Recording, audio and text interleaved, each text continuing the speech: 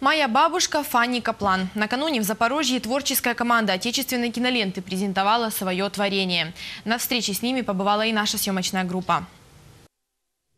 Историческая кинолента режиссера Алены Демьяненко «Моя бабушка Фанни Каплан» с 8 декабря вышла в массовый прокат.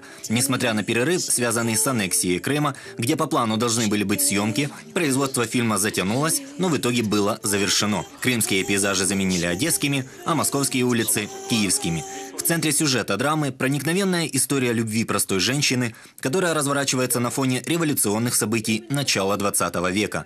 Запутавшись в отношениях с двумя мужчинами, революционером Карским и доктором Дмитрием Ульяновым, братом вождя пролетариата, чувственная, настоящая и уязвимая Фанни Каплан становится жертвой обстоятельств, которые толкают ее на отчаянный шаг – покушение на Ленина.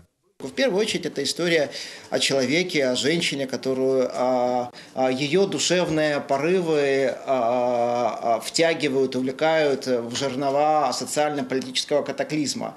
А зритель не всегда может понять, разобраться в сути происходящего, и точно так же сама героиня, она э, не всегда может отделить реальность от своих грез, от своих а, фантазий, от своих представлений.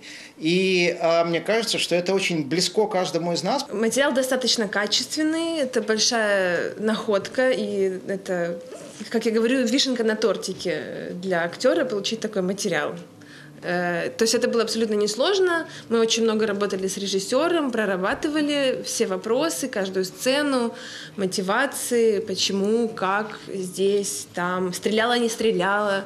Мы пытались разобраться. В Запорожье фильм «Моя бабушка Фанни Каплан» будет демонстрироваться в кинотеатре имени Довженко в течение двух недель.